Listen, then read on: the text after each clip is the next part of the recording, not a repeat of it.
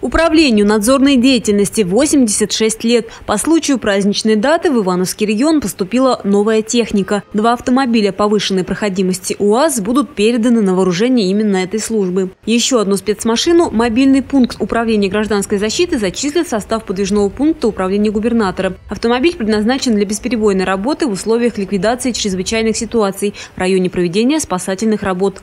Машина оснащена спутниковой связью, современной радиостанцией, видеоконференц-связью, связью интернетом. Спецавтомобиль имеет метеокомплект и способен работать в любых климатических условиях. Машина предназначена также для ведения радиационной, химической и биологической разведки, то есть также для определения э, отравляющих веществ, зон заражения, ну и так далее. Этот автомобиль у нас является э, одним из э, новейших разработок, и в Центральном федеральном округе это единственная пока такая машина, но, которая поступила вот именно с завода производителя вот в нашу область.